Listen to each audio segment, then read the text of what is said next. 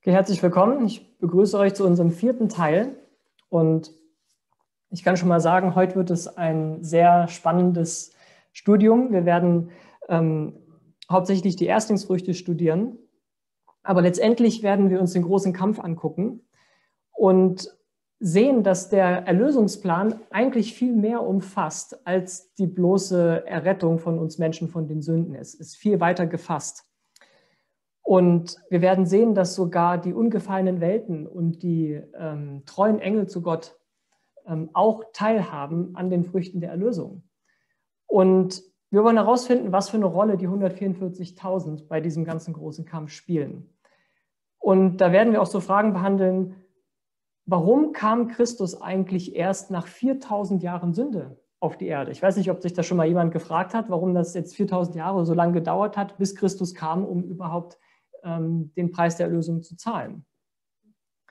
Oder ähm, so Aussagen wie im, im großen Kampf ähm, über die 144.000 zur Zeit der Trübsal, wo es heißt, dass das Irdische an ihnen vernichtet werden muss. Ja, Im Englischen schreibt sie Earthliness has to be consumed, ja, dieses Irdische. Was bedeutet das eigentlich? Und wir werden sehen, dass all diese Dinge miteinander zusammenhängen.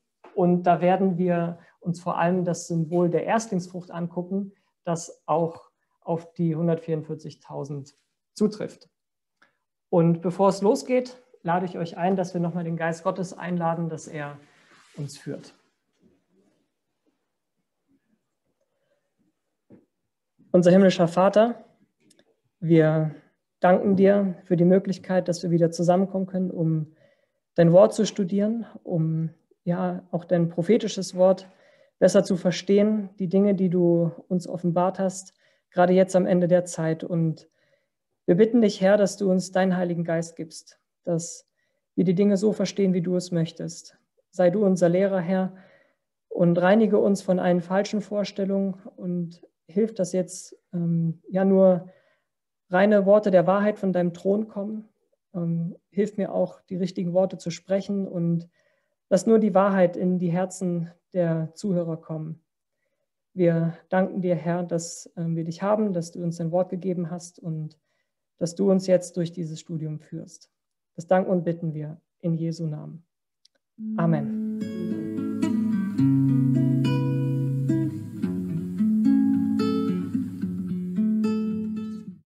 Okay.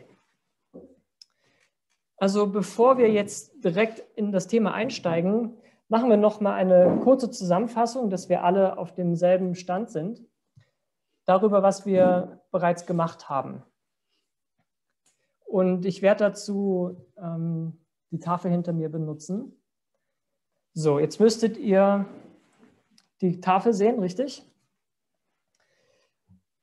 Also, wir werden uns heute wieder das größere Bild anschauen. Letzte Mal haben wir uns ja hauptsächlich hier mit diesem Abschnitt nach dem Ende der Gnadenzeit beschäftigt, ja, die sieben Plagen und die 144.000, dass sie wirklich dort ähm, vorkommen. Und wir haben bis jetzt herausgefunden, dass die drei Engel in Offenbarung 14, also dort in den letzten Versen, die 144 1000 darstellen, beziehungsweise dass sie auf jeden Fall Gottes Volk darstellen. Wir werden noch genauer sehen, dass nicht jeder dieser Engel die 144.000 darstellt, aber sie stellen auf jeden Fall alle ähm, Gottes Volk dar. Also, wenn wir herausfinden, dass diese letzten drei Engel in Offenbarung 14 von Vers 14 bis 20, also genau genommen in Vers 15, 17 und 18, werden noch drei weitere Engel erwähnt. Und wenn wir dann noch den Engel aus Offenbarung 18 dazu nehmen, danke sehr, ergibt das insgesamt sieben Engel. Also wir haben die ersten drei Engel in Offenbarung 14, die wir alle kennen als die dreifache Engelsbotschaft. Dann kommt chronologisch der vierte Engel aus Offenbarung 18. Das ist der letzte vor dem Ende der Gnadenzeit. Und dann nochmal drei weitere nach dem Ende der Gnadenzeit. Das Ende der Gnadenzeit in Offenbarung 14, 14 ist, wo Christus jetzt mit der Sichel auf der Wolke ist. Das heißt, er hat das Heiligtum verlassen.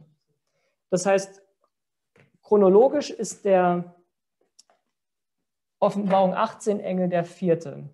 Also wir haben, wenn man das jetzt mal ähm, hier nochmal zusammenfasst, in der Zeit ähm, bis 1844 die ersten drei Engel, der erste, der zweite und der dritte. Der Offenbarung 18 Engel ist der vierte, der erfüllt sich vollständig dann am Sonntagsgesetz, wenn der Spätregen gegeben wird. Das ist die Zeit des lauten Rufes. Und das ist die letzte Gnadenbotschaft an die Menschheit. Dann kommt das Ende der Gnadenzeit. Und dann sehen wir in Offenbarung 14, dass dort noch drei weitere Engel erwähnt sind, was dann in der Reihenfolge der fünfte, sechste und siebte Engel wäre. Und genau diese Zeit wollen wir uns in dieser ganzen Studienreihe ähm, genauer anschauen. So, ich habe mir jetzt ein paar Stichpunkte gemacht, damit ich da keine vergesse in dieser Zusammenfassung. So, dann haben wir auch gesehen, dass zweimal dieser Ausdruck äh, verwendet wird, es ist vollbracht oder es ist geschehen. Das haben wir im großen Kampf gelesen, nämlich einmal hier am Ende der Gnadenzeit heißt es, es ist vollbracht. Aber dann sehen wir in der siebten Plage auch nochmal diesen Ausdruck, es ist geschehen oder es ist vollbracht. Ich schreibe mal geschehen. Was bedeutet, dass hier einmal ist hier ein Werk abgeschlossen und einmal ist hier ein Werk abgeschlossen. Und wir wissen, welches Werk hier abgeschlossen ist, nämlich das Evangelium in der ganzen Welt zu verkündigen. Dafür wurde ja hier der Spätregen gegeben. Und nach dem Ende der Gnadenzeit wird sich niemand mehr bekehren und die Seiten werden nicht mehr gewechselt. Wer heilig ist, bleibt heilig. Ja, wer unrein ist, bleibt unrein und so weiter. Wir kennen das. Aber interessanterweise kommt dann hier in der siebten Plage, also hier haben wir die sieben Plagen,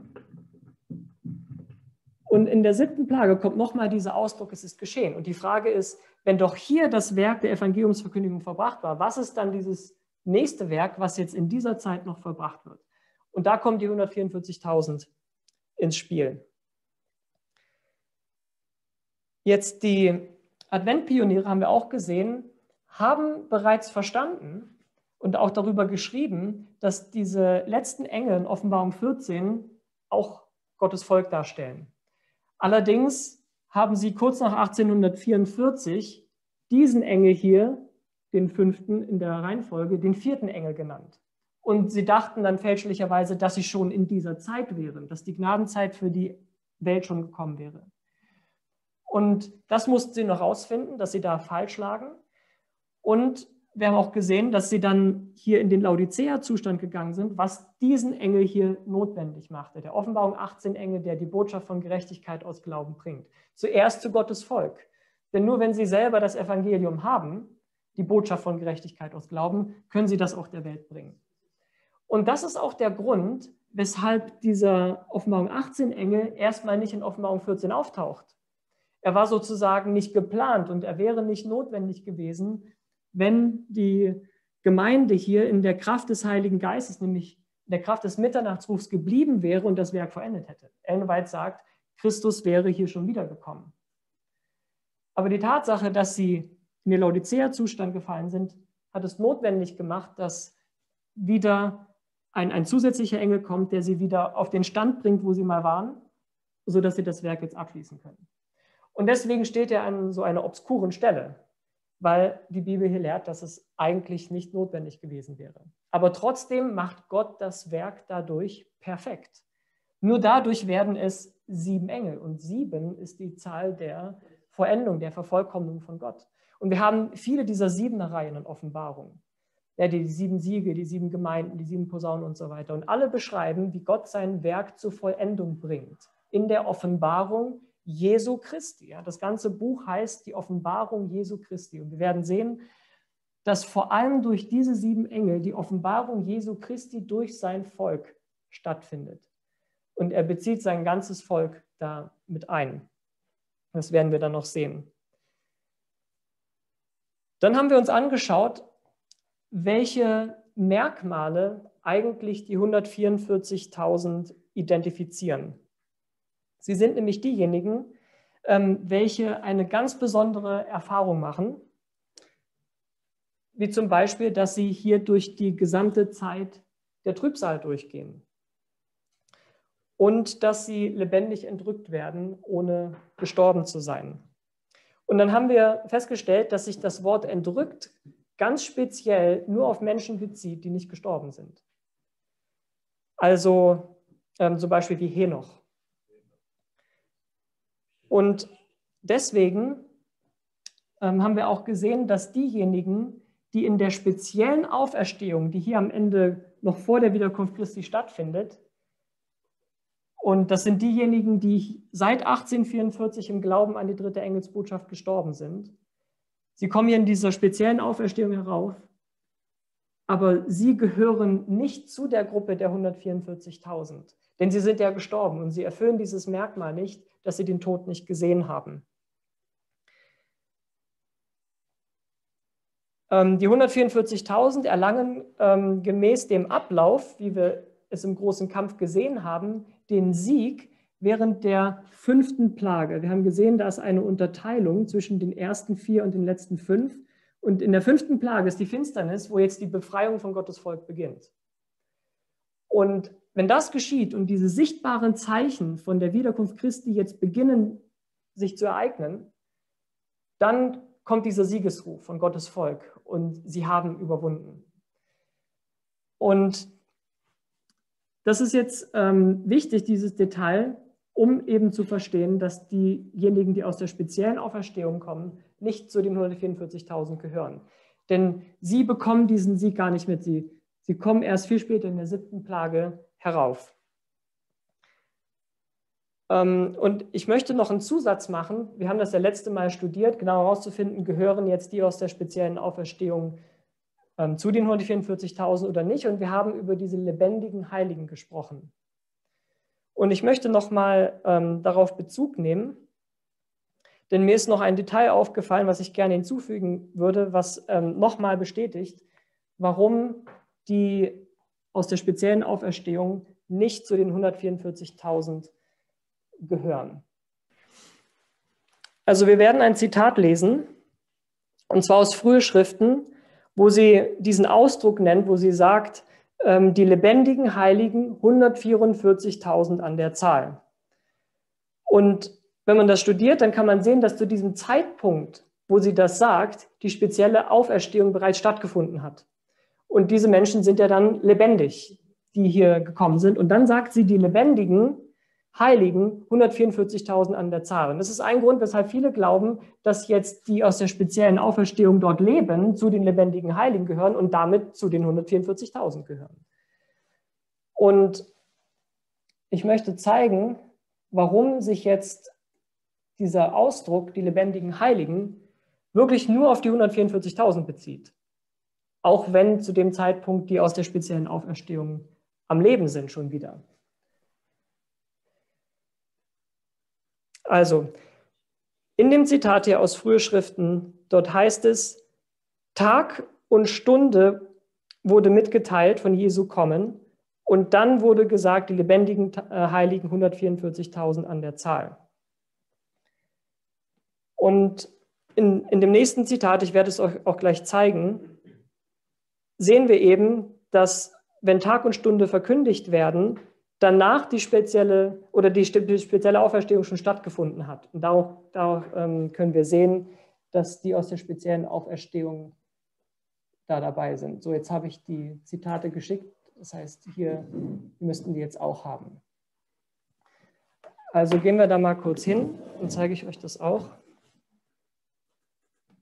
Also hier ist das Zitat aus frühe Schriften, wo sie erst sagt, Tag und Stunde wurden uns mitgeteilt und dann die lebendigen Heiligen 144.000 an der Zahl. Und jetzt lesen wir nochmal hier aus den frühen Schriften. Da spricht sie jetzt hier von der speziellen Auferstehung. Und das Wichtige ist jetzt hier zu sehen, wie sie auferstehen. Es heißt, diejenigen, die im Glauben unter der dritten Engelsbotschaft gestorben waren und den Sabbat gehalten hatten, kamen verherrlicht aus ihren staubigen Betten hervor. Das heißt, sie sind bereits verwandelt. Sie, sie haben schon den neuen Körper, den Unsterblichen. Und dann sehen wir hier im nächsten Abschnitt, Tag und Stunde wird verkündigt. Sie haben diesen Siegesruf über das Tier und sein Bild. Und dann sehen wir hier in dem nächsten Abschnitt die Auferstehung der Gerechten, also die generelle erste Auferstehung. Und dann heißt es, dann erhoben die lebendigen Heiligen und die Auferweckten ihre Stimmen in langen, weithallenden Siegesrufen. Jene Körper, die mit den Zeichen der Krankheit und des Todes ins Grab gesunken waren, kamen hervor in unsterblicher Gesundheit und Kraft. Die lebendigen Heiligen werden in einem Augenblick verwandelt und mit den Auferstandenen heraufgenommen dem Herrn entgegen in die Luft. Also seht ihr, die lebendigen Heiligen werden jetzt erst in einem Augenblick verwandelt. Können dann die aus der speziellen Auferstehung zu den lebendigen Heiligen gehören? Nein, denn sie kamen bereits verherrlicht aus ihren Gräbern. Sie werden jetzt nicht verwandelt. Und deswegen bezieht sich der Ausdruck lebendige Heilige nur auf die 144.000 so müssen wir eben lernen, wie Gott diese Begriffe verwendet, weil die Bibel und auch die Schriften von Ellen White sich ähm, selbst auslegen. Okay, also das war noch ein Zusatz, den ich ähm, zuletzt Mal geben wollte. Dann haben wir uns auch noch kurz die Versiegelung angeschaut, denn das ist auch oft ein Argument, wo gesagt wird, ja, aber die 144.000 sind doch die Versiegelten. Und dann sehen wir, dass seit 1844 die Versiegelungsbotschaft vorangeht und dass sie auch ähm, sagt, dass Menschen schon versiegelt sind. Aber dann haben wir gesehen, wir müssen unterscheiden zwischen zwei Siegeln. Es gibt einmal das gegründet werden in der Wahrheit, was ein Siegel ist, was wir immer haben muss, müssen, was jeder Gerettete haben muss zu Lebzeiten. Aber es gibt auch ein zweites Siegel, was sich auf die Entscheidung im Gericht bezieht.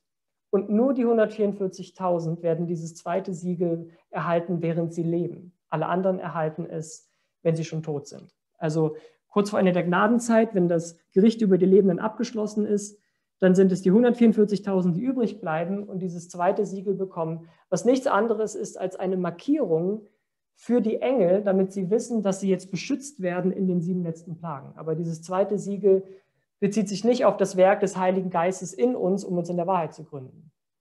Es ist das Siegel, was sie bekommen als Bestätigung dafür, dass sie treu gewesen sind gegenüber den Geboten Gottes und jetzt im Gericht für gerecht befunden werden. Und das ist dieses zweite Siegel. Und das bezieht sich auf die 144.000. Genau, also das ist alles noch Wiederholung, das haben wir letzte Mal gemacht.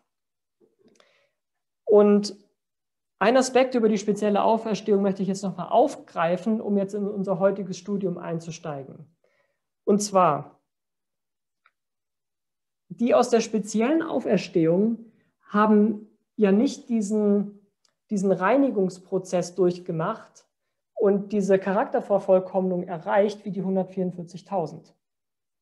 Denn, denn das haben wir schon gesehen, ist genau das Ziel seit 1844, dass nämlich Gott ein Volk vorbereiten möchte, das überhaupt in der Lage ist, zu überleben und dann Gott gegenüberzutreten, ohne zu sterben. Wir haben gesehen, das ist normalerweise nicht möglich. Man muss dafür vorbereitet werden. Einfach so könnten wir nicht lebendig in Gottes Gegenwart treten.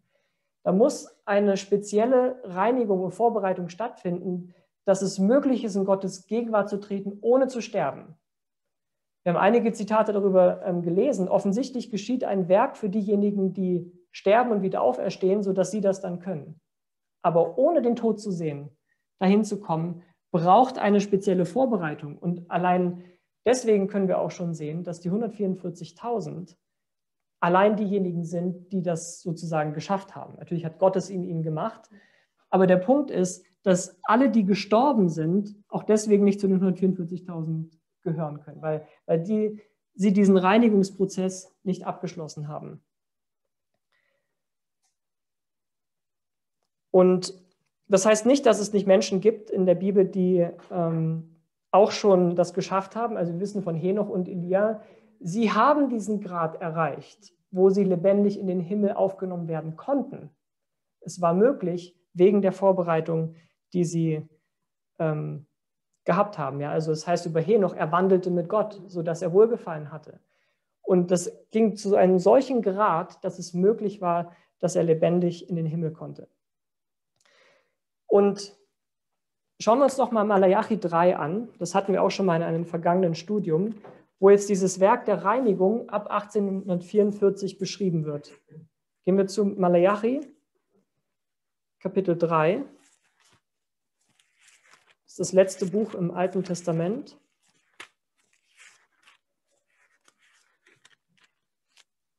Malachi 3, Vers 1 bis 3.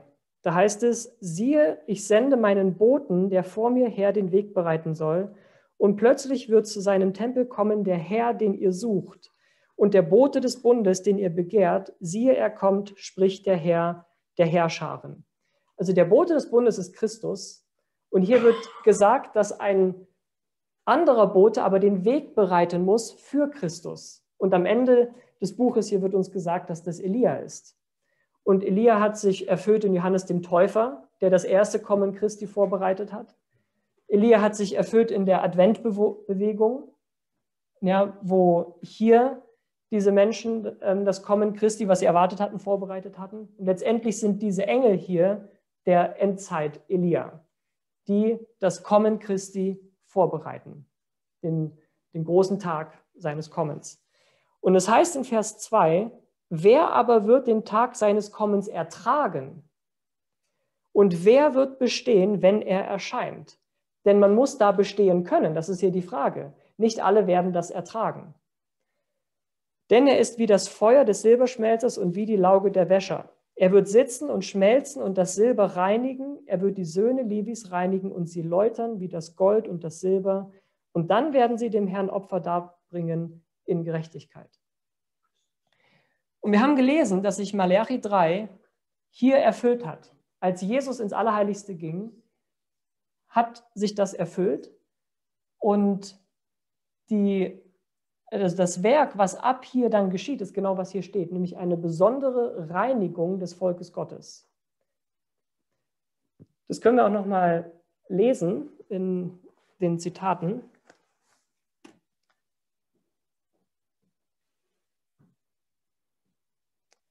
Und zwar ist das hier aus dem großen Kampf. Ja, sie spricht hier von der Zeit, wo Christus gekommen war aber nicht auf die Erde, sondern in das Allerheiligste. Das war 1844. Und dann schreibt sie, aber auch sie waren noch nicht bereit, ihrem Herrn zu begegnen. Sie mussten noch darauf vorbereitet werden. Also 1844 war Gottes Volk nicht bereit, lebendig in Gottes Gegenwart zu treten. Sie, sie mussten noch darauf vorbereitet werden. Und dann schreibt sie, was diese Vorbereitung ist. Und sie zitiert Malachi 3. Wer wird den Tag seiner Ankunft bestehen? Ja, sie ähm, schreibt hier, die auf Erden leben, wenn die Fürbitte Christi im Heiligtum droben aufhören wird, werden vor den Augen eines heiligen Gottes ohne einen Vermittler bestehen müssen. Ihre Kleider müssen fleckenlos, ihre Charaktere durch das Blut der Besprengung von Sünde gereinigt sein. Durch Gottes Gnade und durch ihre eigenen fleißigen Anstrengungen müssen sie im Kampf mit dem Bösen siegreich bleiben. Während das Untersuchungsgericht im Himmel vor sich geht, Während die Sünden reumütiger Gläubiger aus dem Heiligtum entfernt werden, muss sich das Volk Gottes auf Erden in besonderer Weise läutern, das heißt seine Sünden ablegen. Also während der Zeit ab 1844, während das Untersuchungsgericht im Himmel vor, vonstatten geht, kommt jetzt eine besondere Läuterung, eine besondere Reinigung von Sünden unter Gottes Volk die vorher nicht stattfand. Und diese besondere Reinigung bezieht sich auf die Vorbereitung, am Tag seines Kommens bestehen zu können. Deswegen diese besondere Vorbereitung. Und die Antwort wird uns auch gegeben, wer das sein wird, der dort bestehen kann, nämlich in der Offenbarung, wo genau dieselbe Frage gestellt wird, wer kann bestehen, aber danach kommt die Antwort. In Offenbarung 6,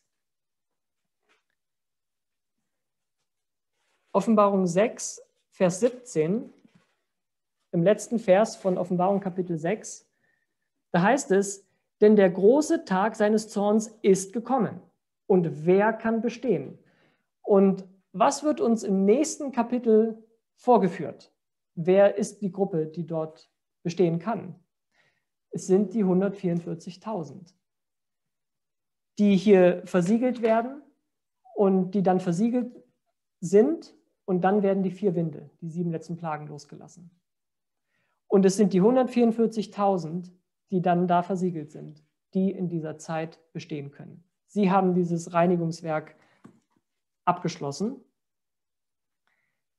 Und wir werden auch sehen, dass in dieser letzten Zeit, nach dem Ende der Gnadenzeit, während der Trübsalzeit, sogar selbst nochmal ein Reinigungswerk stattfindet, was über das hinausgeht, was seit 1844 stattfindet. Es ist ein mehrstufiger Prozess bis hin zu einem Punkt, wo sie so weit sind, dass Christus wiederkommen kann.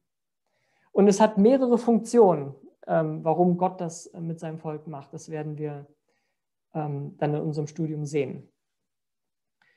Und dann sagt sie hier weiter in dem Zitat, nachdem jetzt sie von dieser besonderen Läuterung gesprochen hat, nachdem das geschehen ist, werden die Nachfolger Christi für sein Erscheinen bereit sein. Also eben hat sie geschrieben, es muss noch etwas für sie getan werden, damit sie bereit sind. Dann hat sie von dieser speziellen Reinigung gesprochen und dann sagt sie, wenn das geschehen ist, dann sind sie bereit.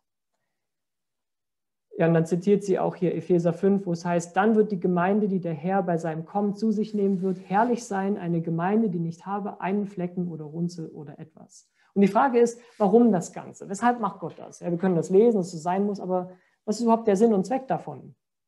Denn erlöst sind ja viele, die da überhaupt nicht dran teilhaben. Also was ist der, der wirkliche Zweck davon? Jetzt, sie schreibt hier, das haben wir auch schon mal gelesen in Review and Herald aus dem Jahr 1884, die Zeit der Trübsal ist der Schmelztiegel, der Christus ähnliche Charaktere hervorbringen soll. Ja, hier steht nicht, dass die Trübsal Christus ähnliche Charaktere produziert oder erschafft. Sie müssen diesen Christus ähnlichen Charakter schon haben, er durch die Bekehrung. Aber was die Zeit der Trübsal macht, er bringt diese Charaktere hervor. Das heißt, so dass sie sichtbar werden. Dass sie so sichtbar werden, wie man es normalerweise nicht sehen würde. Das heißt nicht, dass sie davor nicht da gewesen wären, diese Christusähnlichen Charaktere. Ja, man kann nur etwas hervorbringen, was bereits da ist. Und, und diese Zeit der Trübsal ist dazu da, das jetzt zu demonstrieren, es hervorzubringen. Die Zeit der Trübsal heißt es, soll das Volk Gottes dazu bringen, sich von Satan und seinen Versuchungen loszusagen. Jetzt, wir müssen uns das mal vergegenwärtigen, was sie hier sagt. Sie spricht hier vom, von der Zeit nach dem Ende der Gnadenzeit. Ja, sollen wir nicht jetzt schon von Versuchungen Satans befreit sein, uns davon loszusagen? Ist nicht nach dem Ende der Gnadenzeit zu spät, von Satan befreit zu werden? Auf jeden Fall.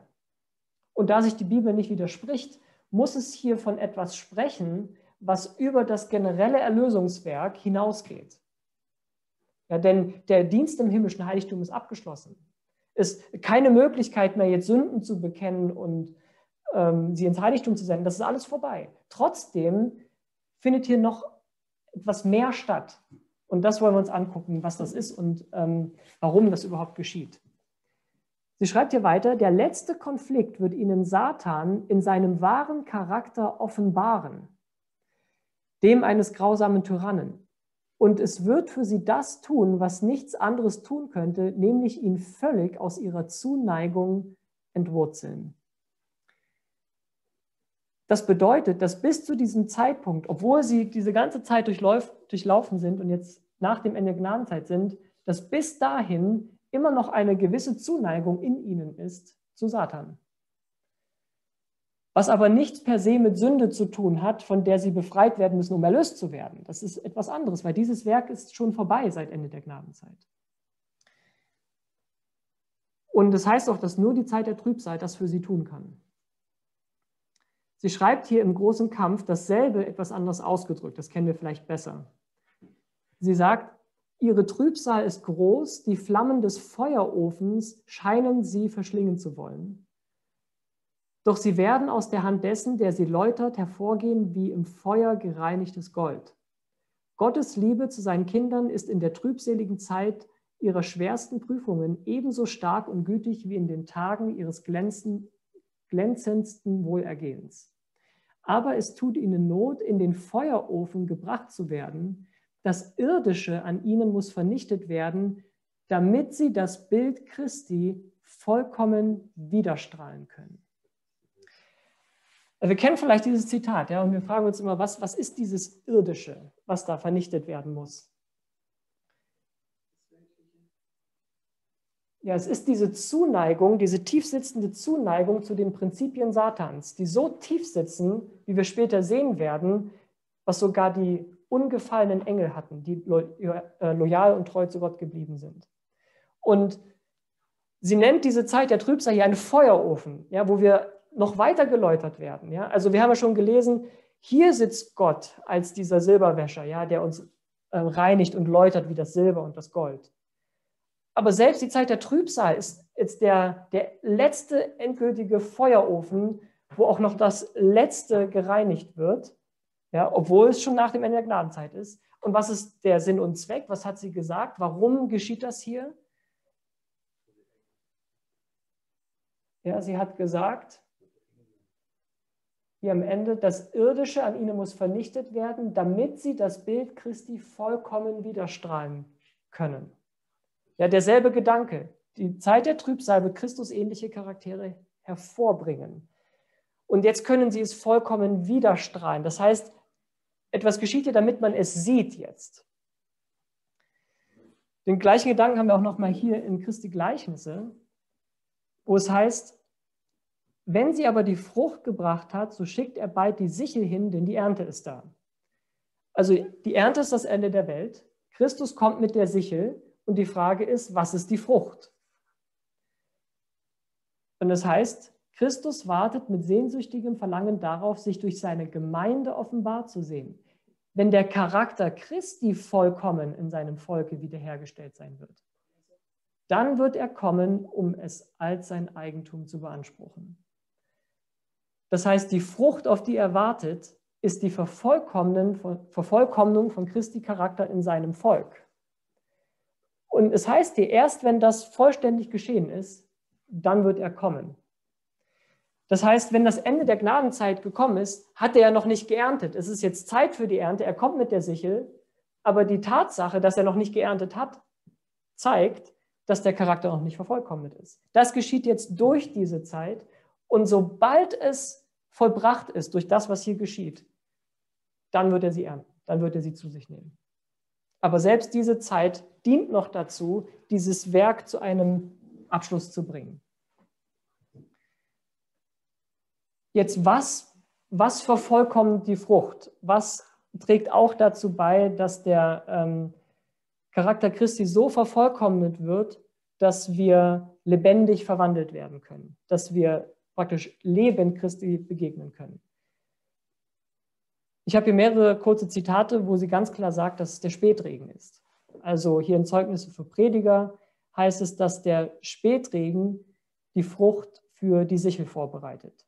Oder hier aus Wirken der Apostel heißt es, der Spätregen bereitet die Gemeinde auf das Kommen des Menschensohnes vor. Oder hier im großen Kampf, Seite 612, der Spätregen ist dazu da, dass die Ernte reife. Das Interessanteste hier finde ich aus Zeugnisse Band 1, Seite 207. Da schreibt sie, wer jedoch alle Prüfungen besteht und überwindet, ganz gleich für welchen Preis, hat den Rat des treuen Zeugen beachtet, wird den Spätregen empfangen und somit vorbereitet sein für die Verwandlung. Und im Englischen schreibt sie da Translation. Und das ist das Wort für Entrückung. Also sie sagt, dass der Spätregen uns uns schon bereit macht, lebendig verwandelt zu werden, lebendig entrückt zu werden. Und die Frage ist, wenn doch jetzt der Spätregen uns schon vorbereitet, dass wir lebendig entrückt werden können, warum geschieht das dann nicht, sobald der Spätregen sein Werk getan hat? Warum jetzt immer noch diese Zeit? Denn wir wären ja jetzt schon bereit, entrückt zu werden. Okay, das ist abgeschlossen. Wir sind jetzt bereit, wir können Christus lebendig entgegentreten.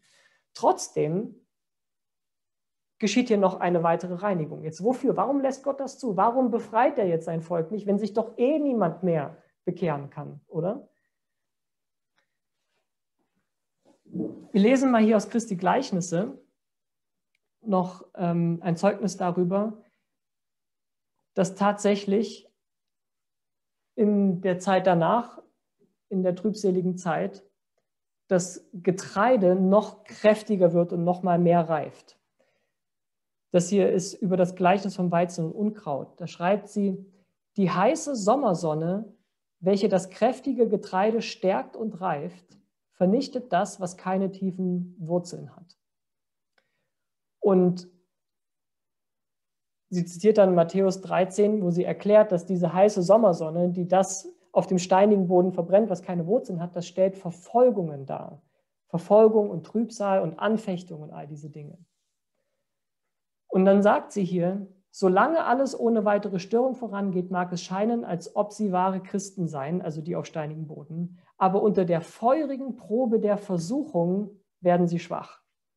Sie können um Christi willen keine Schmach ertragen. Und was haben wir schon gesehen, ist die feurige Probe der Versuchung? Das ist das, was die Bibel die große Stunde der Versuchung nennt. In Offenbarung 3, Vers 10 heißt es, die Stunde der Versuchung, die über den ganzen Erdkreis kommt. Und das ist genau die Zeit der Trübsal, die sieben letzten Plagen. Und das ist das, was hier in dem Gleichnis gemeint ist mit dieser heißen Sommersonne. Aber während das auf steinigem Boden ohne Wurzeln ähm, dort vernichtet wird, hat das, was wirklich kräftig ist, wird dadurch noch kräftiger und reift sogar noch mehr. Das ist, was sie hier sagt. Okay, und ich möchte jetzt zeigen, dass das, was dort geschieht, ähm, sich speziell unter dem Symbol der Erstlingsfrucht ähm, erfüllt. Und dazu gehen wir mal zur Offenbarung 14 und lesen nochmal den Abschnitt hier über die Erstlingsfrucht. Gehen wir zur Offenbarung 14. Also wir haben ja gesehen jetzt, dass dort dieses spezielle Reinigungswerk stattfinden muss. Und interessanterweise werden die 144.000 genau als diejenigen beschrieben, die jetzt rein sind. Also in Offenbarung 14, Vers 4 und 5. Offenbarung 14, Vers 4 und 5, da heißt es, diese sind es, die sich mit Frauen nicht befleckt haben, denn sie sind jungfräulich rein. Diese sind es, die dem Lamm nachfolgen, wohin es auch geht. Diese sind aus den Menschen erkauft worden als Erstlinge für Gott und das Lamm. Und in ihrem Mund ist kein Betrug gefunden worden, denn sie sind unsträflich vor dem Thron Gottes. Also hier haben wir diese, diese Beschreibung von den 144.000, die den Charakter Christi vollkommen jetzt widerspiegeln. Genau das, was auch über Christus gesagt wurde, ja, dass in seinem Mund kein Betrug gefunden worden ist. Ja. Als er geschmäht wurde, erwiderte er nicht wieder, und ähm, all diese Aspekte. Und sie stellen jetzt den Charakter Christi vollkommen dar. Und in Verbindung mit dieser Beschreibung ihrer Reinheit sehen wir das Symbol der Erstlingsfrucht. Also manche Bibeln sagen hier nur Erstlinge, aber wenn man wirklich schaut im Grundtext, ist wirklich ganz speziell das Wort Erstlingsfrucht. Und wir werden auch sehen, dass das sehr logisch ist, dass hier die Erstlingsfrucht auch ähm, auftauchen muss, denn wir sehen ja danach eine Ernte. Christus kommt zu ernten und wo immer eine Ernte stattfindet, musste auch eine Erstlingsfrucht dargebracht werden. Das werden wir uns gleich näher anschauen, aber natürlich wollen wir zuerst auf Christus schauen, denn zuerst einmal, wenn wir die Erstlingsfrucht studieren, stellen wir fest, dass Christus selbst die Erstlingsfrucht war. Er wird Erstlingsfrucht genannt.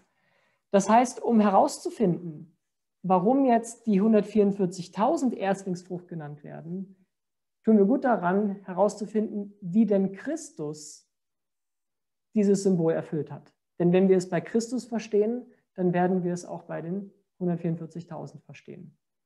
Also gehen wir mal zu 1. Korinther 15 und lesen, wo Christus hier als Erstlingsfrucht beschrieben wird. Es gibt mehr Texte, aber das ist der deutlichste und letztendlich sagen sie alle ähm, dasselbe.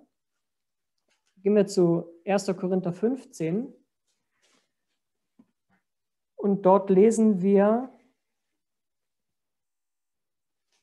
Vers 20, reicht eigentlich. 1. Korinther 15, Vers 20. Also Paulus äh, spricht hier im Kontext über die Auferstehung ähm, aus den Toten und das die Tatsache, dass Christus aus den Toten auferstanden ist, die Grundlage für unseren christlichen Glauben ist. Er sagt, wenn es nicht so wäre, dann wäre unser Glauben umsonst. Und dann sagt er in Vers 20, nun aber ist Christus aus den Toten auferweckt. Er ist der Erstling der Entschlafenen geworden. Oder hier steht wieder dasselbe Wort Erstlingsfrucht eigentlich. Im Englischen heißt es auch, he is the first fruits of them that slept. Er ist, der, er ist die Erstlingsfrucht Frucht der Entschlafenen. Nun, wenn wir das so lesen mit unserem menschlichen Verstand. Wir sollen ja nicht unsere eigene Interpretation da reinbringen, aber manchmal sind wir versucht, es zu tun, weil es so natürlich kommt. Und wenn wir das lesen, was denken wir sofort, was das heißt? Dass, das, dass er der Erstling unter denen ist, die entschlafen sind. Man könnte denken, dass er der Erste ist, der auferstanden ist, oder? Aber wenn man die Bibel mal durchgelesen hat, was wird man feststellen? War er der Erste, der aus den Toten auferstanden ist? Nein, überhaupt bei weitem nicht. Wenn man das mal zählt, war er der Achte in der chronologischen Reihenfolge. Ich habe euch mal hier aufgelistet, ähm, wer alles vor Christus bereits, zumindest von denen wir wissen aus der Bibel, aus den Toten auferstanden ist. Das ist erstmal Mose, kann man nachlesen in Judas 9 und in Matthäus 17 auf, der, auf dem Berg der Verklärung, wo Mose ja erscheint. Ja, er war der Erste, der ähm, aus, auferweckt worden ist aus den Toten. Dann haben wir in 1. Könige 17 das Beispiel ähm, des Sohnes der Witwe von Zapat, die durch Elia, der durch Elia auferweckt wird. Wir haben den Sohn ähm, der Shunamiter in 2. Könige 4, das geschieht durch Elisa, den Nachfolger von Elia.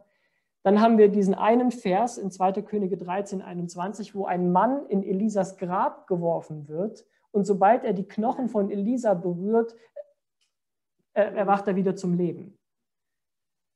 Dann ähm, der fünfte ist dann im Neuen Testament, der Sohn der Witwe von Nein in Lukas 7. Dann haben wir noch die Tochter des Jairus in Lukas 8 und das vielleicht bekannteste Beispiel Lazarus in, in, Lukas, äh, in Johannes 11.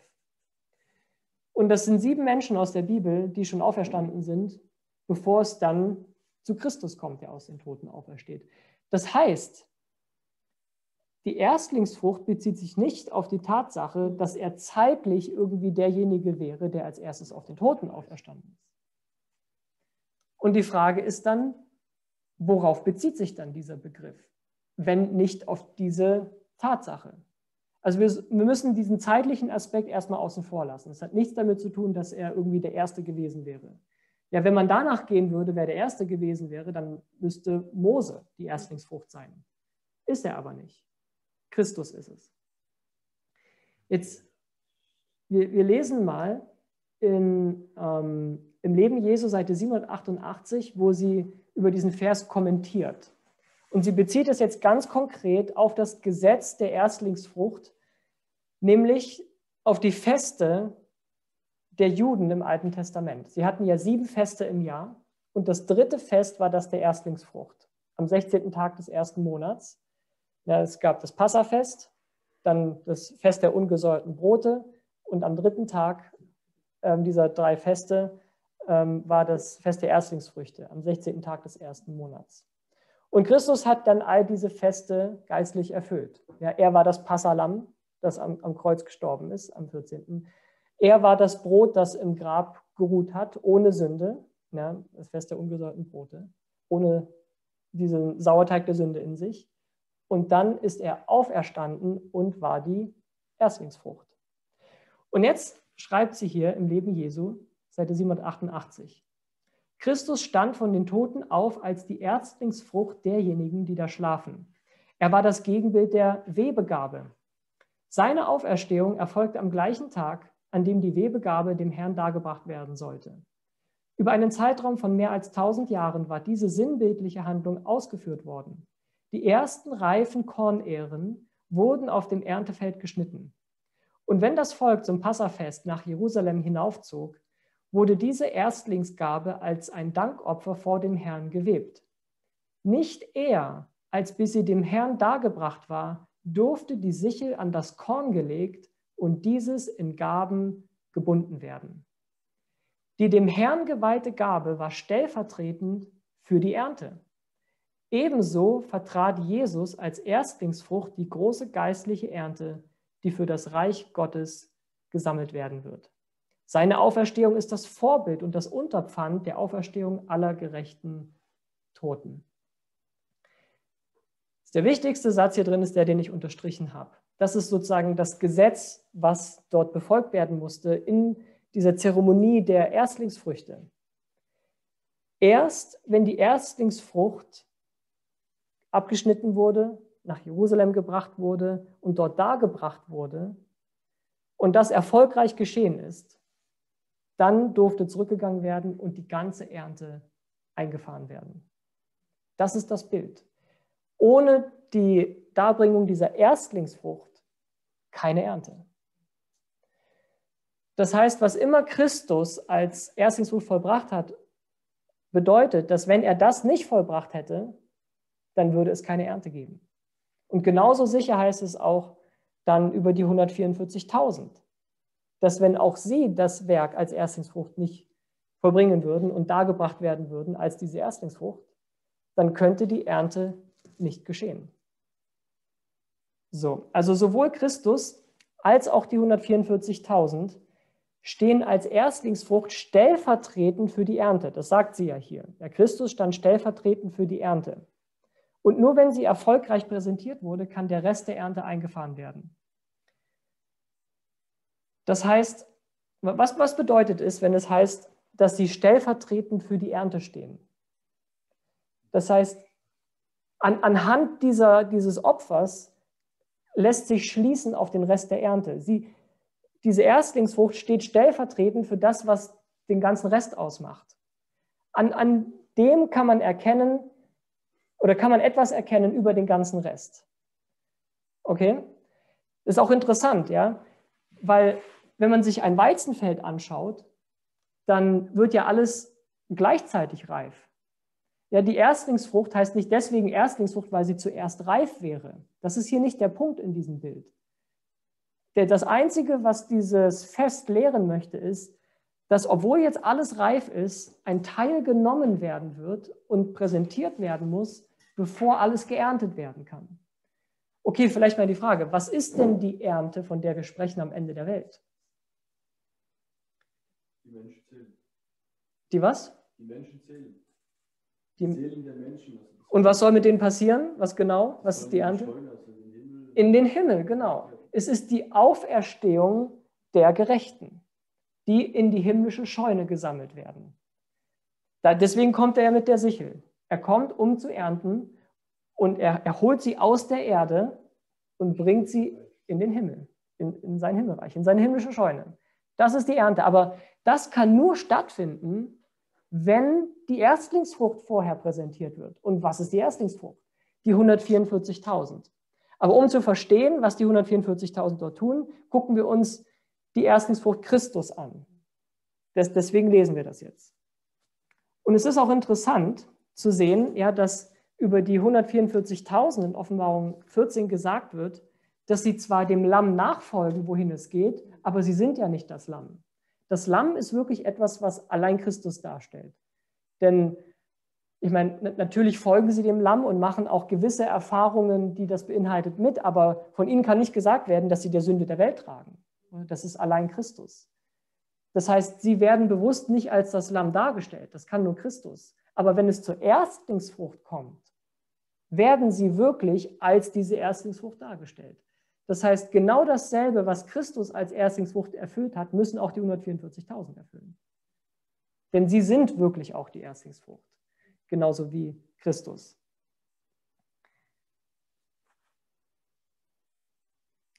Jetzt, wann war Christus die Erstlingsfrucht? Das ist auch noch interessant. Also das, das Okay, aber wann er es praktisch erfüllt hat. Also es heißt ja, er war am, am dritten Tag, als er auferstanden ist, war er die Erstlingsfrucht. Aber wir werden sehen, er war dort die Erstlingsfrucht wegen dem, was er bereits vor seinem Tod vollbracht hat. Und die Auferstehung zeigte letztendlich, dass er ohne Sünde war. Also er konnte nur auferstehen und die Erstlingsfrucht sein, weil da keine Sünde in ihm war. Weil er sozusagen in der, in der Versuchung standgehalten hat und gezeigt hat, dass er das Recht hat, sein Leben wiederzunehmen und aufzuerstehen. Und so ist er zwar dann die Erstlingsfrucht, aber das, was ihn dazu gemacht hat, hat tatsächlich vor seinem Tod stattgefunden. Und das heißt auch, dass die 144.000 als Erstlingsfrüchte zwar in den Himmel kommen, denn diese Szene wird ja hier beschrieben, in Offenbarung 14, wo sie bereits im Himmel sind, aber es zeigt eigentlich das, was sie vorher bereits auf Erden ähm, gemacht haben und wie sie gelebt haben, nämlich unbefleckt, unsträflich vor dem Thron Gottes in der größten Zeit der Versuchung, haben sie nicht der Sünde nachgegeben und sind nicht gefallen. Und vollbringen auch lebendig auf Erden dieses Werk der Erstlingsfrucht, genauso wie Christus es vollbracht hat. Und die Tatsache, dass Christus das ähm, vor seinem Tod vollbracht hat, das sehen wir in Johannes 19. In Johannes 19 wird seine Gefangennahme beschrieben, seine Kreuzigung und dann der Zeitpunkt seines Todes. Und kurz vor seinem Tod, das letzte, was er sagt, finden wir in Johannes 19, Vers 30. Da heißt es, als nun Jesus den Essig genommen hatte, sprach er, es ist vollbracht. Und er neigte das Haupt und übergab seinen Geist. Jetzt, wir sehen hier, dass für die Sünder zu sterben nicht alles ist, was der Erlösungsplan beinhaltet. Ja, denn sein Tod wäre ja jetzt genau dieses Werk, den, das zu vollbringen, was die Sünde erlöst. Aber er sagt ja schon vorher, es ist vollbracht. Das heißt, was immer er jetzt vollbracht hat, geschieht vor diesem Akt des Sterbens für die Sünde. Und das ist dieses andere Werk, was, er, was ihn zur Erstlingsfrucht macht. Lesen wir das mal hier im Leben Jesu, Seite 759. Und dieses ganze Kapitel kann ich empfehlen. Es heißt auch, es ist überschrieben mit diesem Ausdruck, es ist vollbracht. Und es beschreibt wunderbar, was er da vollbracht hat. Sie schreibt hier, Jesu Leben fand, äh, Jesu Leben auf Erden fand nicht er seinen Abschluss, als bis er das Werk vollendet hatte, das auszuführen er gekommen war. Erst mit dem letzten Atemzug am Kreuz rief er aus, es ist vollbracht. Also sie sagt auch ganz klar, bevor sein Leben einen Abschluss gefunden hatte, war das Werk vollendet. Welches Werk? Nicht das, um für die Erlösung der Sünder zu sterben. Denn sonst hätte er sagen müssen, ich werde es jetzt vollbringen oder ich bin dabei, es zu vollbringen. Aber er sagt ganz klar, ich habe es vollbracht. Und was hat er vollbracht? Es heißt, der Kampf war gewonnen. Seine Rechte und sein heiliger Arm hatten ihm den Sieg erstritten. Als Sieger hatte er sein Banner auf den ewigen Höhen errichtet. Herrschte darüber nicht Freude unter den Engeln? Der ganze Himmel nahm jubelnd Anteil an dem Sieg des Erlösers. Satan war geschlagen und er wusste, dass ihm sein Reich verloren war. Also hier geht es um den großen Kampf. Jesus hat hier etwas vollbracht, was sich auf den großen Kampf bezieht, bevor er dann auch noch für die Sünder gestorben ist. Ja, hier geht es um viel, viel mehr als einfach nur unsere Errettung. Unsere Errettung, könnte man sagen, ist fast nur ein Nebenprodukt von dem eigentlichen Kampf, der da im Universum ähm, tobt und der auch gelöst werden muss. Und um jetzt zu verstehen, wie der große Kampf zu Ende geht und was das alles beinhaltet, müssen wir den Beginn des großen Kampfes verstehen. Und die, die Fragen, die wir uns da stellen müssen, ist, was war Satans Ziel und Absicht überhaupt am Beginn des großen Kampfes? Und wie wollte er dieses Ziel erreichen? Und bis zu welchem Ausmaß konnte er sogar gewisse Sympathien der ungefallenen Engel gewinnen und damit sicherlich auch derjenigen, die auf Erden Gott nachfolgen. Das werden wir gleich lesen, dass er das geschafft hat.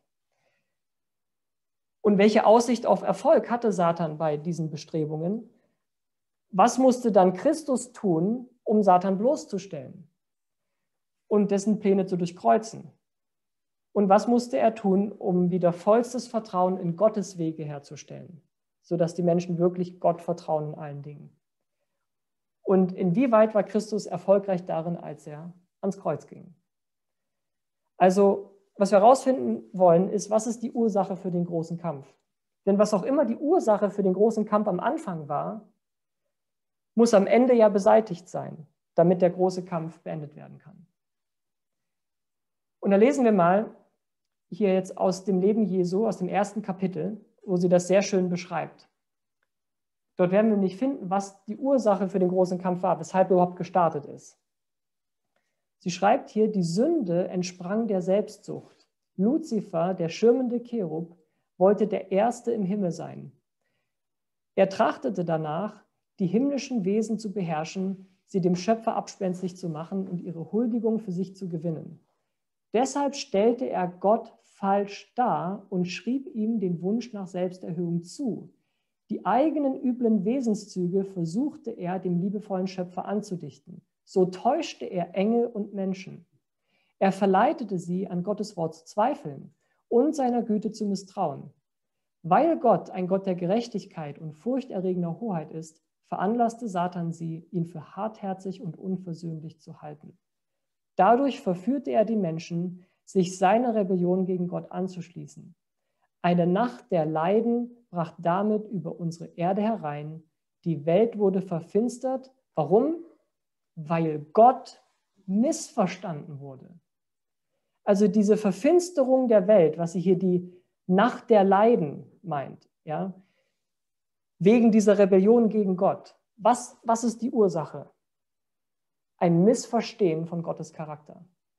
Denn erst als Satan es geschafft hatte, Gott in einem falschen Licht darzustellen und die, die Wesen im Universum über ihn zu täuschen, hatten die Wesen irgendwann so eine falsche Vorstellung über Gott, dass sie überhaupt den Grund hatten, gegen ihn zu rebellieren. Denn solange sie Gott wirklich erkennen, wie er wirklich ist, gibt es keinen Grund, gegen Gott zu rebellieren.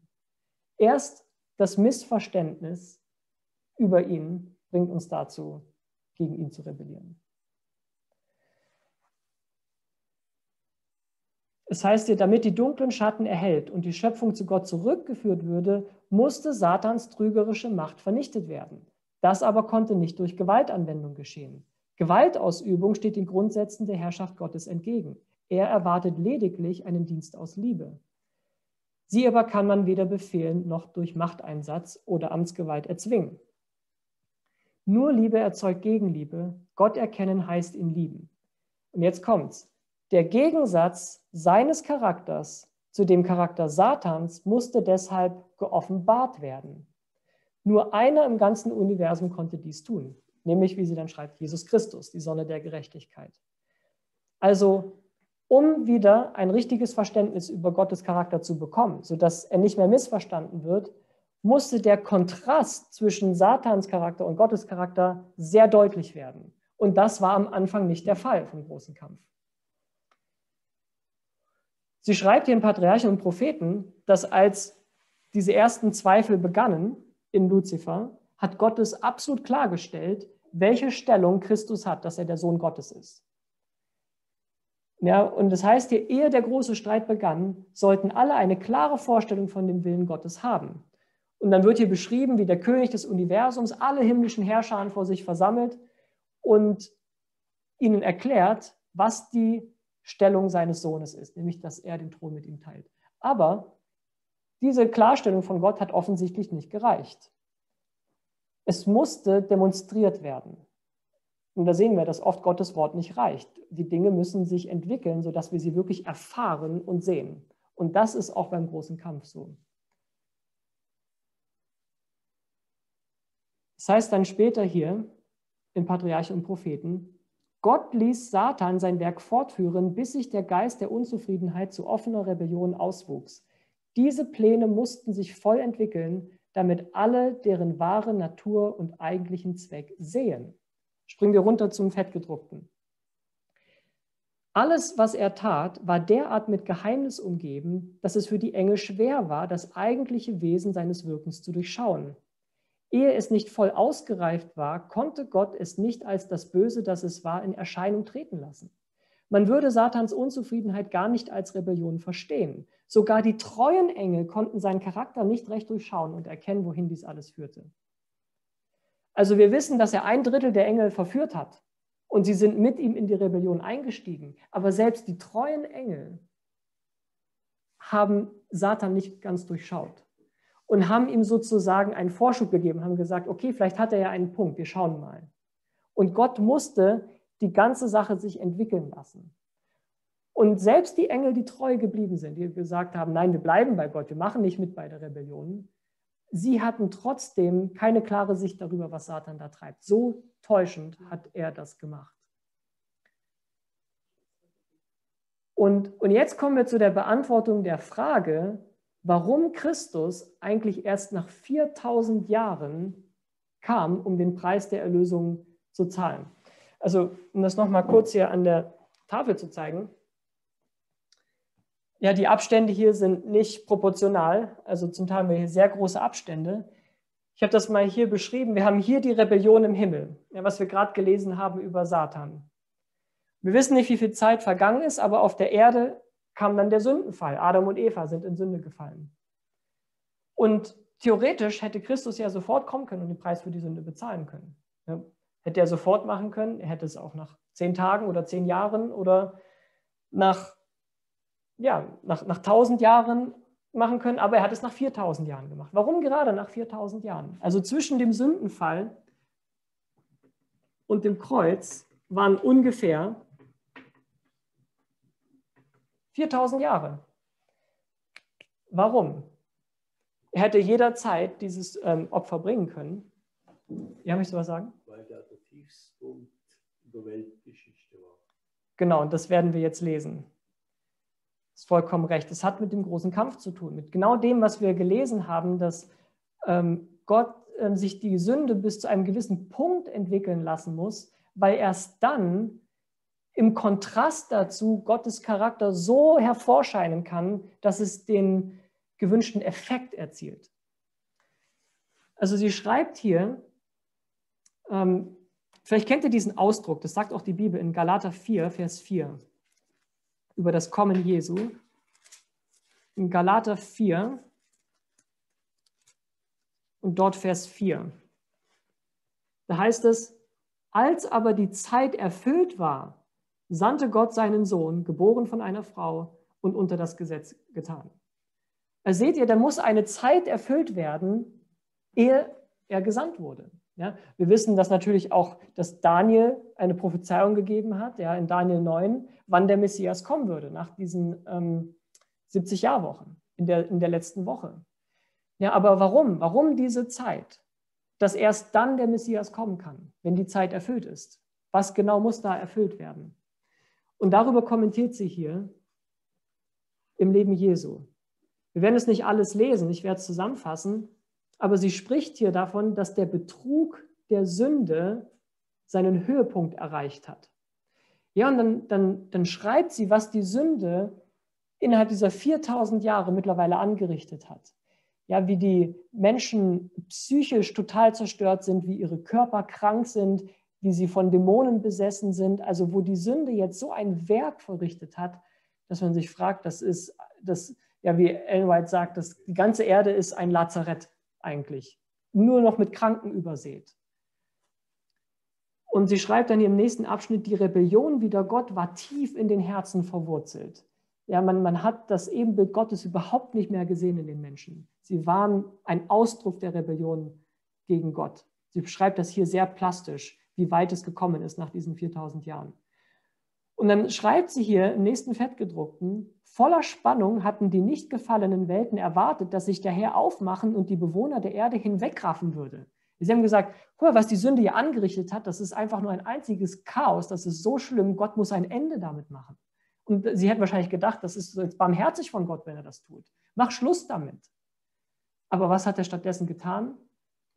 Er kommt selber in diese Welt, nimmt einen Körper an, der unter dieser Sünde leidet und heilt die Menschen. Geht rum und sein Hauptwerk ist, ja, durch dieses Lazarett zu gehen und zu heilen, zu heilen, zu heilen. Und die Menschen zu segnen und alles zu tun, um sie zu retten. Ja, das schreibt sie hier. Aber statt die Welt zu vernichten, sandte Gott seinen Sohn, sie zu retten. Und dann zitiert sie hier unten diesen Ausdruck aus Galater 4,4. Und als die Zeit erfüllt war, offenbarte die Gottheit ihre Herrlichkeit, indem sie die Fülle heilsamer Gnade über die Welt ausschüttete. Das hat Christus getan, als er auf die Erde kam. Und er konnte erst nach 4000 Jahren kommen, weil dann erst diese Demonstration von Gottes Herrlichkeit und seinem Charakter den nötigen Effekt erzielt. Denn ist es erst, wenn die Sünde in ihrem schlimmsten Zustand erscheint, dass die Gerechtigkeit Gottes am hellsten strahlen kann.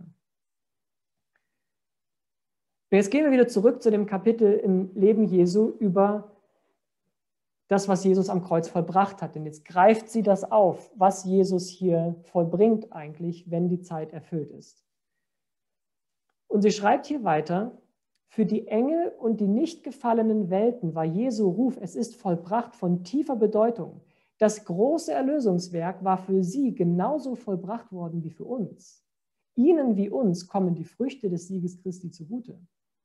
Jetzt Frage, wenn sie schreibt, dass selbst die ungefallenen Engel und die ungefallenen Welten am Erlösungswerk teilhaben, dass es für sie genauso vollbracht worden ist wie für uns. Wie kann das sein, wenn doch nur wir Sünder sind, die Vergebung brauchen, die, wo wir unsere Sünden ins Heiligtum senden, weil wir gegen Gott rebelliert haben und ein neues Leben brauchen.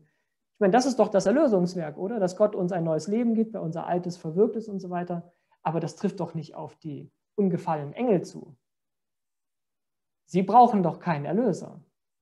Warum ist dann das Erlösungswerk genauso für sie vollbracht worden wie für uns? Inwiefern kommen auch ihnen die Früchte des Sieges Christi zugute. Und allein wenn wir darüber nachdenken, sehen wir schon, dass das Erlösungswerk mehr beinhaltet als einfach nur unsere Erlösung von der Sünde. Der ganze große Kampf ist damit eingeschlossen. Und Gott muss hier ein Problem lösen in diesem Universum, was weit über unsere einfache Erlösung hinausgeht. Es geht darum, Gottes Charakter wieder richtig darzustellen, sodass selbst für die ungefallenen Welten dort ein Werk vollbracht wird, was unbedingt notwendig ist, um wieder absoluten Frieden und Harmonie im Universum herzustellen. Es heißt hier weiter, erst beim Tode Christi wurde den Engeln und allen nicht gefallenen Welten der wahre Charakter Satans völlig offenbar ja, den nicht gefallenen Engeln. Bis dahin war ihnen der Charakter Satans nicht völlig offenbar.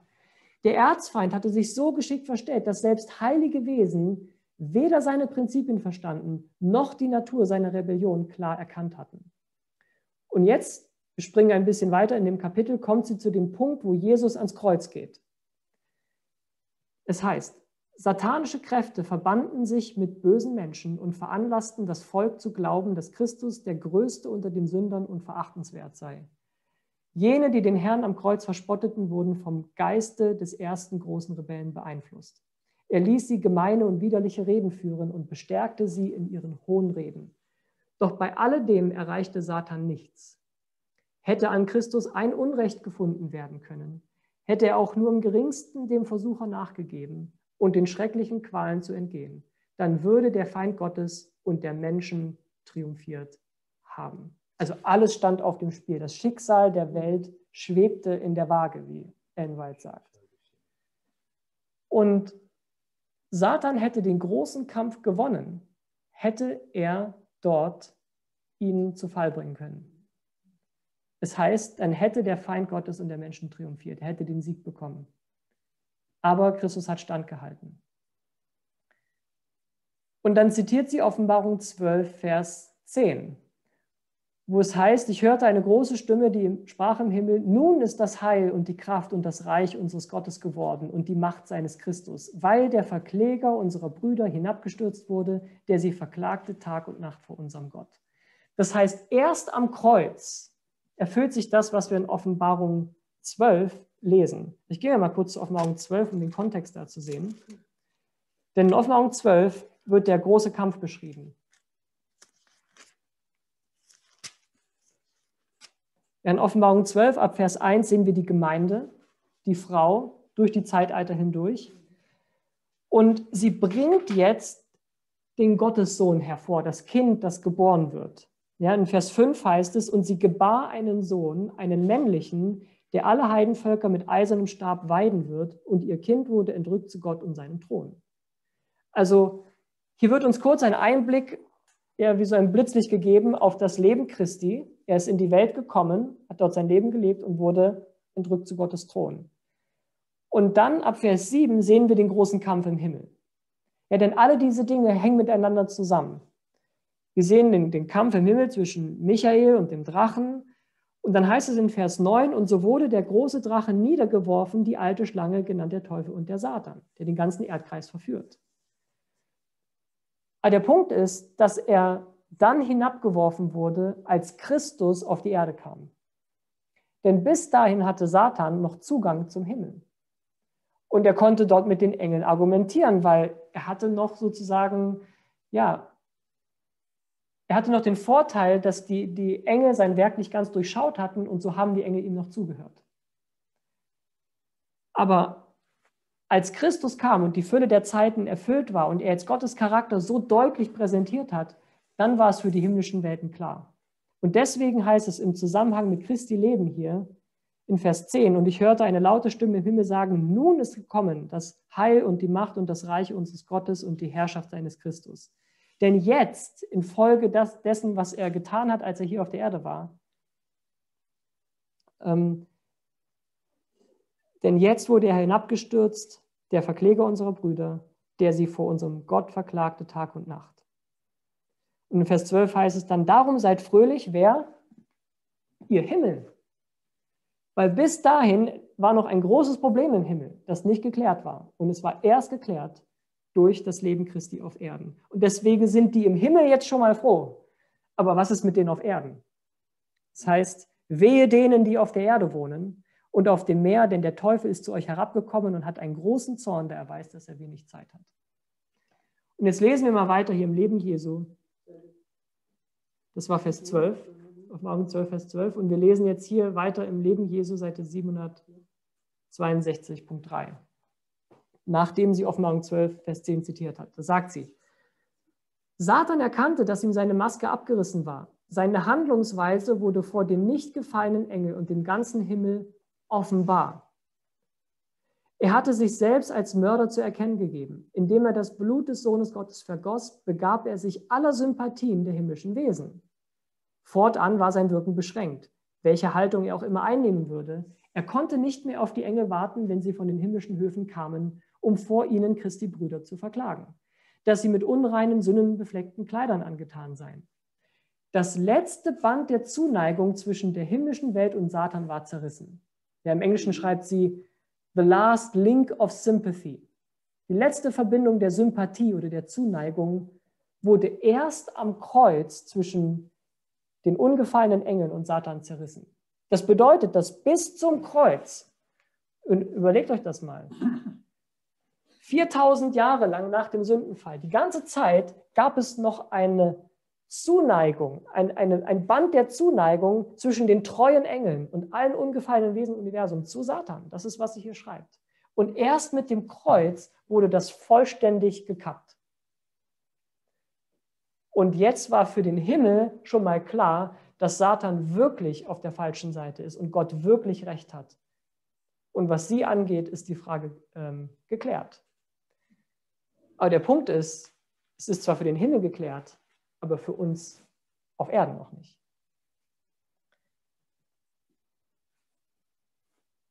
Und das schreibt sie jetzt. Das ist der Grund, weshalb wir immer noch hier sind, obwohl Christus das doch verbracht hat am Kreuz. Sie sagt, dennoch wurde Satan damals am Kreuz nicht vernichtet. Die Engel verstanden selbst zu jenem Zeitpunkt noch nicht alles, was der große Kampf enthielt. Die Grundsätze, die auf dem Spiel standen, sollten noch völliger offenbart werden. Und um der Menschen willen musste Satans Existenz erhalten bleiben. Der Mensch musste so wie die Engel den großen Gegensatz zwischen dem Fürsten des Lichts und dem Fürsten der Finsternis erkennen und sich entscheiden, wem er dienen will. Das heißt, genau das, was für die Engel hier vollbracht wurde, wo Jesus bereits vor seinem Tod gesagt hat, es ist vollbracht,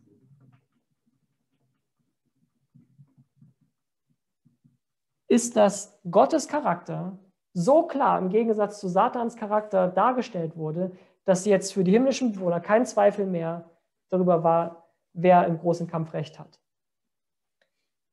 Und dieses Werk hat Christus vollbracht, indem er in dieser Anfechtung, in dieser Versuchung standhaft geblieben ist und seine Reinheit vor Gott bewahrt hat und Gottes Charakter demonstriert hat, in der dunkelsten Stunde. Aber das ist nur für den Himmel vollbracht worden und es war sein Werk als Erstlingsfrucht.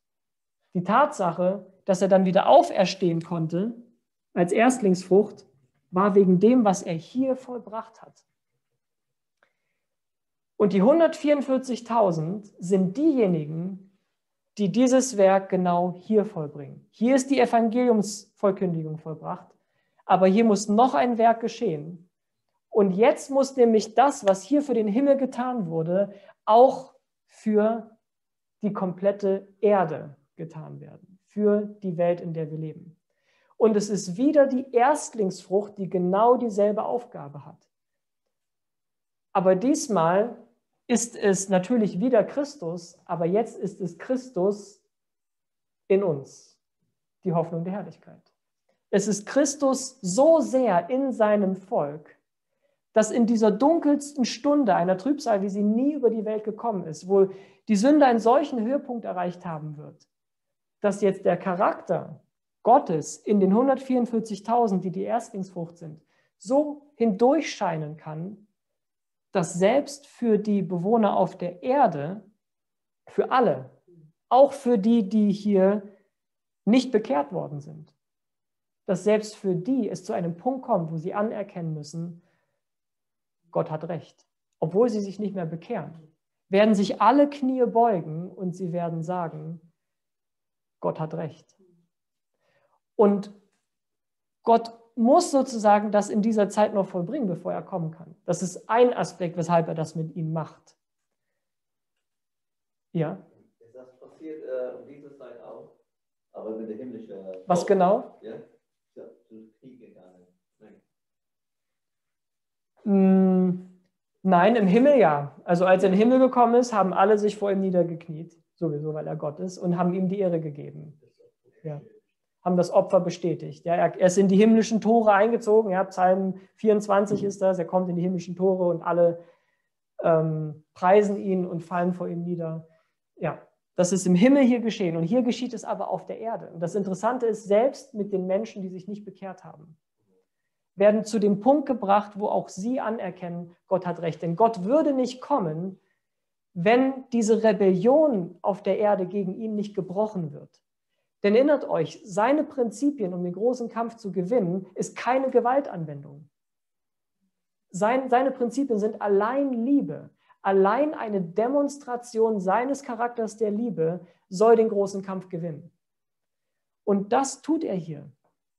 Und er wird es zu dem Punkt bringen, wo alle Menschen auf der Erde das anerkennen werden. Und wenn dieser Punkt erreicht ist, dann kann er kommen.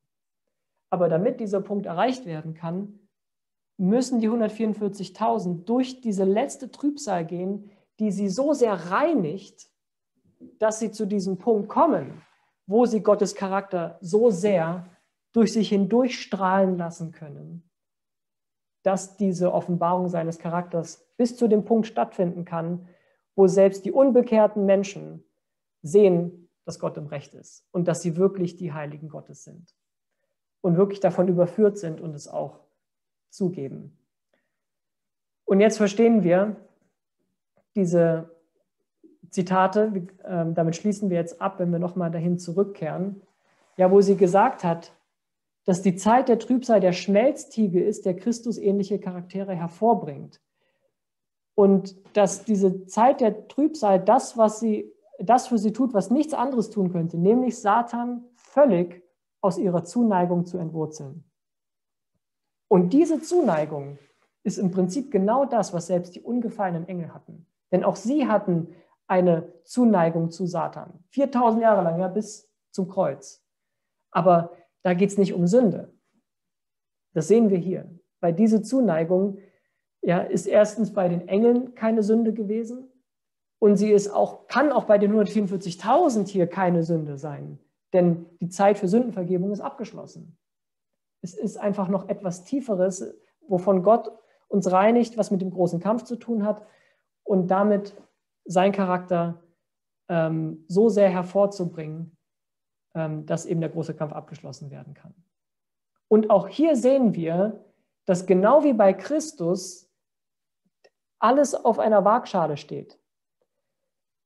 Das heißt, über die Zeit der Trübsal im Fettgedruckten, aber die kleine Schar, nämlich die 144.000, die die Gebote Gottes hält, widersteht seiner Oberherrschaft. könnte er diese von der Erde vertilgen, so würde sein Sieg vollkommen sein. Nun, die 144.000 sind ja geschützt, richtig, durch das Siegel Gottes. Aber unter der Bedingung, dass sie nicht sündigen. Wenn sie sündigen würden, hätte Satan jedes Recht, sie zu vernichten. Aber die Tatsache, dass sie treu bleiben, ja, das, das ähm, ist sozusagen der Garant dafür, dass sie jetzt den Schutz der Engel genießen, sodass sie nicht zerstört werden. Würden sie aber jetzt fallen in der Versuchung, dann könnte Satan sie vernichten. Und dann heißt es, dann wäre sein Sieg vollkommen. Muss man sich mal vorstellen. Ja, selbst 2000 Jahre nach dem Kreuz, wo der Sieg von Christus errungen war, ist es jetzt von den 144.000 abhängig, dass der große Kampf verendet wird. Und wenn sie fallen würden, würde Satan immer noch den Sieg bekommen. Und darauf spekuliert er, darauf arbeitet er hin. Denn er hofft natürlich darauf, dass er das schaffen wird. Nun, wir wissen, dass er es nicht schaffen wird. Gott hat es vorhergesagt. Er hat auch vorhergesagt, dass Christus kommen wird und den Sieg erlangen wird. Trotzdem war es für Christus, als er in der Situation war, so, dass er den freien Willen hätte und es auch nicht hätte machen können. Er hätte fallen können. Die Möglichkeit ist da. Und so ist es auch bei den 144.000. Sie werden nicht auf wunderbar, wundersame Weise übernatürlich vom Sündigen abgehalten. Sie könnten. Aber natürlich wissen wir, sie werden nicht. Und das ist auch ein wichtiger Aspekt, den wir uns dann in den nächsten Studien ansehen werden, warum Gott das überhaupt so macht. Warum sagt Gott vorher, also am Ende der Gnadenzeit, diese Gruppe der 144.000 wird jetzt nicht mehr sündigen. Das sagt er ja praktisch damit. Ihre Fälle sind entschieden, sie sind gerecht, sie kommen in den Himmel. Diese Menschen hier werden jetzt in der größten Stunde der Versuchung nicht sündigen. Und über alle diejenigen, über die es sagt, wird es auch so sein. Die Frage ist, warum macht er das? Das werden wir uns auch die nächsten Male noch anschauen. Okay, also zusammengefasst ist das Werk der Erstlingsfrucht das, dass sie präsentiert werden müssen und wenn sie nicht präsentiert werden, kann die Ernte nicht eingefahren werden. Und die Frucht, die Erstlingsfrucht beschreibt ihre Charaktervervollkommnung, die, den reifen Charakter, den sie haben, der jetzt zuerst präsentiert werden muss, bevor die Auferstehung stattfinden kann. Und das ist ein wichtiges Werk der 144.000. Wir werden sehen, dass es noch mehr beinhaltet. Aber da sehen wir, dass wir hier auf Erden zu einem bestimmten Werk berufen sind, das darüber hinausgeht, Menschen das Evangelium zu bringen. Ja, das ist die Grundlage von allem und total essentiell. Aber es geht noch darüber hinaus. Wir sind dazu aufgerufen, den, daran teilzuhaben, dass der große Kampf beendet wird.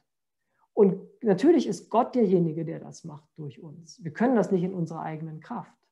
Aber was wir können, ist uns so sehr Gott hingeben, dass er dieses Reinigungswerk in uns tun kann. Dass wir so sehr diesen heiligen Wandel haben mit dem Gedanken, es geht hier um den Abschluss des großen Kampfes. Es geht hier darum, dass die Gerechten, die im Staub der Erde schlafen, darauf warten, aufzuerstehen. Und es ist davon abhängig, dass Gott endlich ein Volk hat, das die Aufgabe annimmt, so sehr sich von Gott umformen zu lassen in sein Ebenbild, dass die letzten Ereignisse stattfinden können, dass sie den Spätregen erhalten können und dass sie in dieser letzten Stunde der Versuchung bestehen können. Und Gott offenbart uns diese Dinge im, im, großen Kampf und in der Bibel, in all diesen Schriften, damit wir diese Dinge nutzen, um uns genau darauf vorzubereiten. Denn wir sind am Ende der Zeit und es ist soweit und wir, wir müssen uns daran begeben, wirklich diesen heiligen Wandel aufzunehmen. Nicht für uns, um irgendwie besser zu sein, sondern dafür, dass dieser große Kampf und dieses Leiden endlich ein Ende hat. Denn wenn wir es für andere tun, dann haben wir die richtige Motivation und nicht, wenn wir es für uns selbst tun. Dann leben wir wirklich diese selbstopferungsvolle Liebe von Gott aus. Das ist ja der Charakter, den er in uns möchte. Und ich denke, dann bekommen wir einen wunderbaren Blick auf die 144.000. Ja, wir sollen danach streben, da dabei zu sein, aber nicht, weil wir diese tolle hohe Stellung haben wollen, sondern weil wir wollen, dass Christus erhöht wird, dass er der Welt dargestellt wird und dass dieser Kampf ein Ende finden kann. Also lasst uns zum Abschluss noch ein Gebet sprechen. Unser himmlischer Vater, wir wollen dir so sehr danken, dass du wirklich diesen großen Kampf zu Ende bringen wirst. Herr, du hast den Sieg erstritten am Kreuz und der ganze Himmel freut sich, aber wir sind immer noch hier und stecken in diesem Kampf und wir sehen uns danach, nach Hause zu gehen und bei dir zu sein, im Frieden, in Harmonie, in Ewigkeit. Und so lass uns dieses Ziel nie aus den Augen verlieren. Lass uns ja in diesen Reinigungsprozess, diesen besonderen Reinigungsprozess einsteigen, dass wir so sehr von dir geformt werden können, dass wir die Erstlingsfrucht sein können, dass ja, wir den Menschen deinen Charakter darstellen, dass sie sich auch jetzt noch dadurch bekehren, solange Gnadenzeit ist, dass du den Spätregen sendest und viele zu dir kommen aber dass wir dann auch bereit sind, durch diese letzte Trübsal zu gehen, im völligen Vertrauen auf dich. Und dass dadurch auch der letzte Kampf, der uns bevorsteht, abgeschlossen werden kann durch den Sieg, den du uns gibst. Und so danken wir dir, Herr, dass du es wohl hinausführen wirst, dass du das Werk, das du begonnen hast, auch abschließen wirst. Und wir danken dir, Herr, dass im Angesicht der Herrlichkeit, die du bereitet hast, die Leiden hier doch nur ja, leicht sind und vergänglich sind. Und so bitte ich um Segen für ähm, alle Zuhörer, die sich das angeschaut haben. Mögest du sie auch führen in ihrem Studium und mögest du uns auch wieder zusammenführen nach deinem Willen. Das bitten und danken wir in Jesu Namen. Amen. Amen.